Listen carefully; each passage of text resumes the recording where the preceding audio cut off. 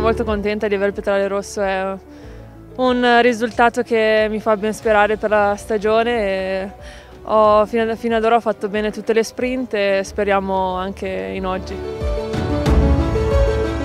Beh, sicuramente un'emozione unica, partire a casa è sempre bello e speriamo di non farci prendere troppo da, dalle emozioni e, e fare delle belle gare.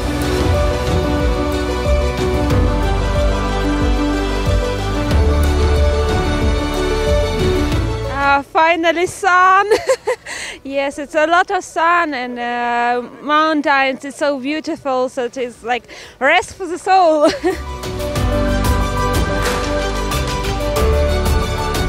ich freue mich schon nach Handholzkamm und äh, ich äh, freue mich auch mit Wetter, mit gutes Wetter und äh, viel Glück für die Rennen, für alle.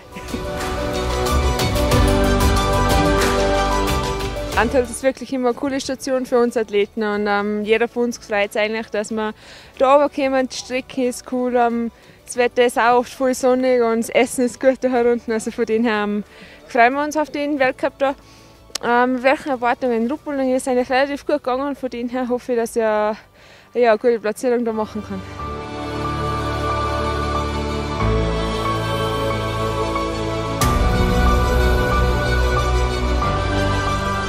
Yes, it looks like last season in my sport career, and I'm very happy that I can be here.